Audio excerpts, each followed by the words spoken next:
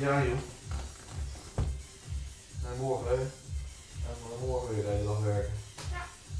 Dan werk je af op je fietsje weer naar de bibliotheek. Tegen de zus werkt. Nooit meer, een jaar geleden. Had ik hoe je die boeken naar huis terugbrengen? Tegen mij. Ik moet die betalen.